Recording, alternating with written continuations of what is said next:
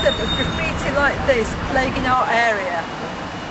I've been running a campaign to get rid of such graffiti from across the whole area because in my opinion this does spoil our environment. It's important that we show respect to other people and get rid of such graffiti. Please join me in a campaign to do so.